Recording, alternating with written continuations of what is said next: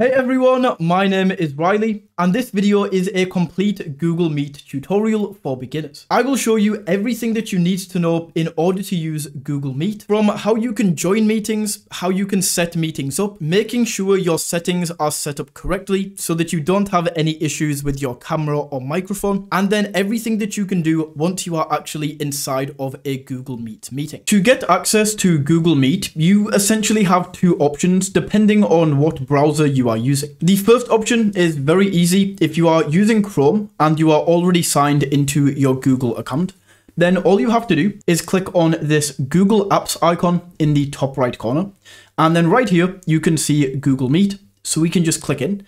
And just like that, we are now on Google Meet. Alternatively, you can open up a new tab and simply search for Google Meet. And then from here, we just click on this top option for Google Meet and that is going to take you over to the exact same page. As soon as you load in, this is the basic and the free version of Google Meet. And for 90% of people, this is going to have all of the features that you need. However, what you can do is if you do want to upgrade to Google Meet Premium, we can click in here and you can see that we are going to get access to longer group calls, the ability to live stream to YouTube. We get access to call recording, noise cancellation, joining by phone without showing your camera.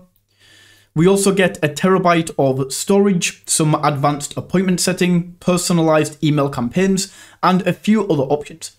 If you do want to upgrade, then you can come down here and right here, we can see the pricing for the Google Workspace plans. So all we would do is select, we can start a 14 day free trial and that will give you access to the premium version of Google Meet.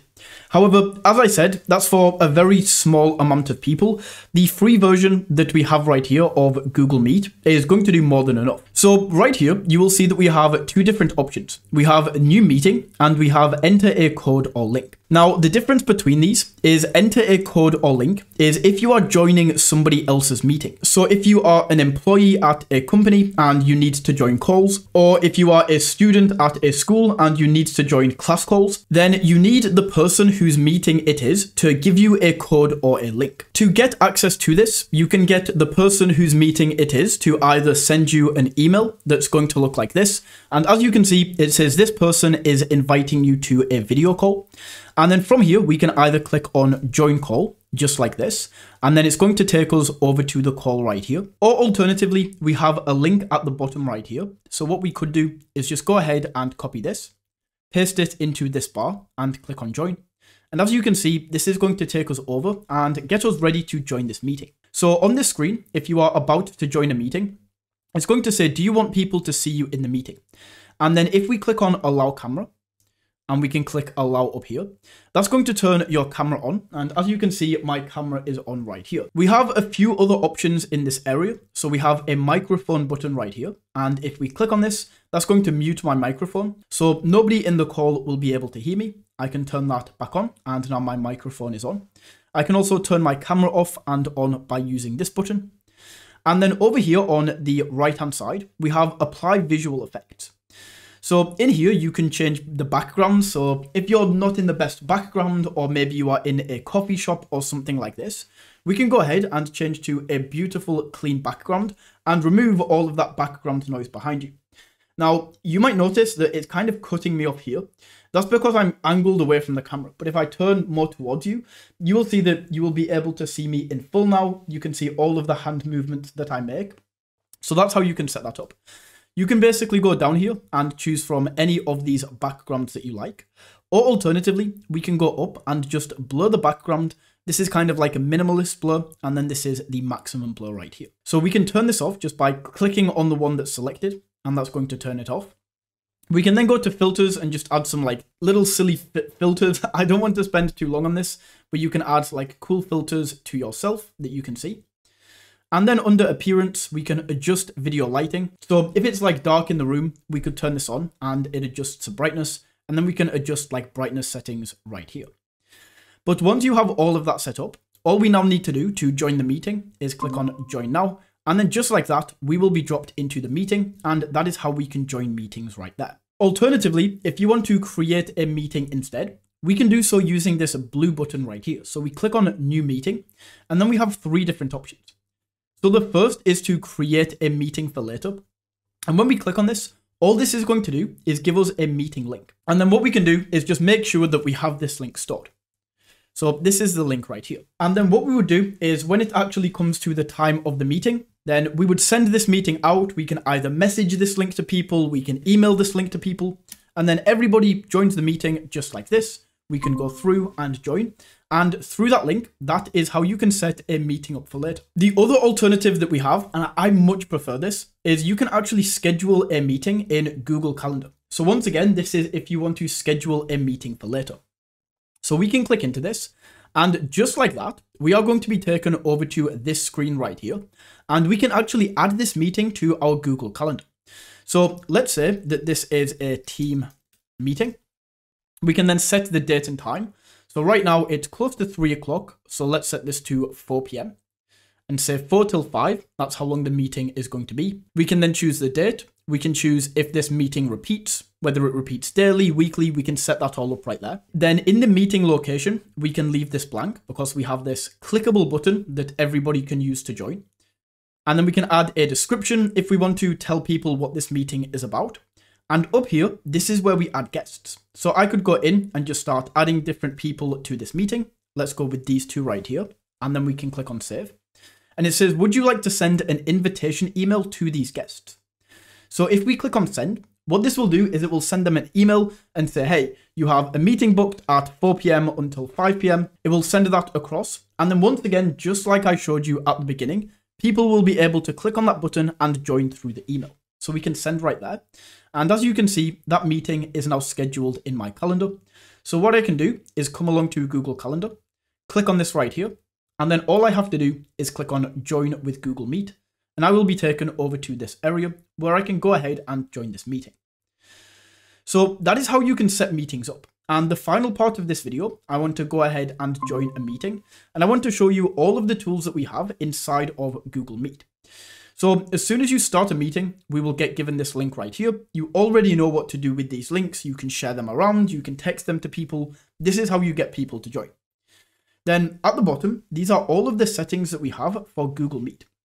So we can open up the audio settings. We can turn the microphone on and off.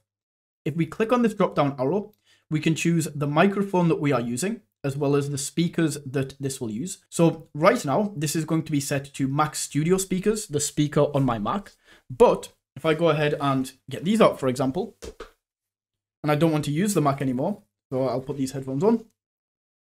As you can see, that's going to automatically update. The microphone updated as well. So I want to go back in and change this to make sure I am using this microphone. And then for the output, I want to be using these headphones. So you can go in and change them manually if it doesn't update automatically. So perfect. I'll just take these back off. Then for the camera, so we have the camera down here. Once again, we can click in, choose between the different cameras, turn the camera on and off. We then have closed captions. So if I go ahead and turn these on, you can see that it's going to dictate everything that I say throughout this entire conversation. So you can turn subtitles on right there. We can even go up and change the language of these captions. We just go ahead and turn these off. We can also send a reaction. So the main use case of this is if you are in a meeting and somebody is talking, but you don't really want to speak over them, but you do want to show like approval or even disapproval, well, we can just use these. So it's going to be silent, but we can basically click on these and send a reaction.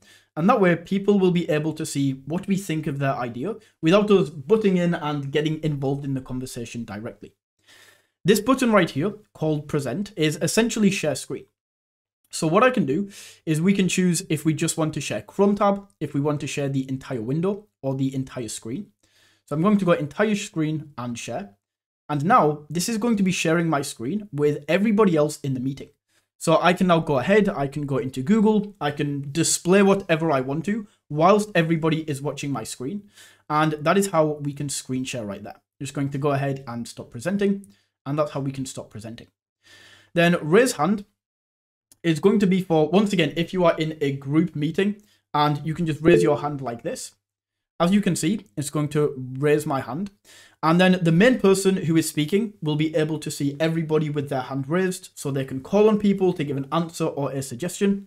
And then once you've been called on, you can just take your hand down like this. And that is how we can use raise hand. Over here, we have a few other options. So we have whiteboard. We can go in and start a new whiteboard. And this is going to start a whiteboard with the entire team. So as you can see, this is a Jamboard. Everybody in the meeting will be able to see everything we put in here. They will be able to add their own ideas, and that's how we can use the whiteboard. And then we have some other things like being able to change the layout. Once again, this is more for group meetings. So tiled will show everybody at the same time. Spotlight will show the person who is currently talking. They will be brought into the big picture as you can see on my screen, and then you won't be able to see anybody else. Or we have sidebar that will bring up so if I'm speaking, I will be the main picture for everybody, but you will still be able to see everybody down this right-hand side. So we can choose that right there. That's change layout. We then have full screen, open picture in picture, which is basically going to minimize the chat. So I could go ahead and do other things. So I could maybe check out Social Blade right here or check some other things whilst I still see the meeting. And then we can just go back in, go to these settings and go close picture in picture to bring this back up. Then we have visual effects. We've already spoken about these. We have captions, which we've already spoken about. And then we just have some report options down here.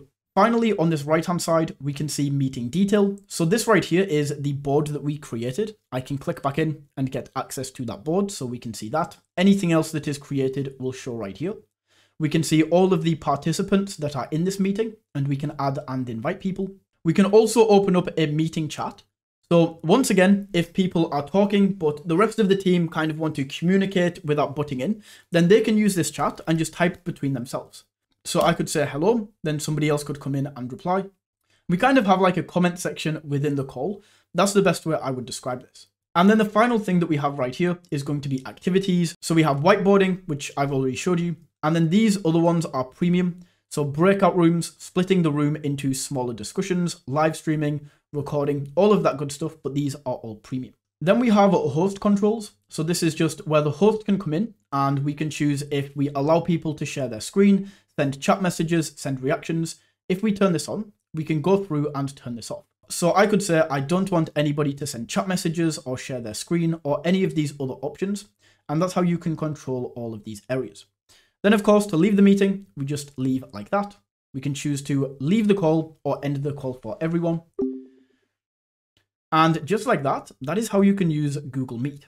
So that is how you can use Google Meet. If you found this video valuable, don't forget to smash that like button and tap that subscribe button. And until next time, take it easy.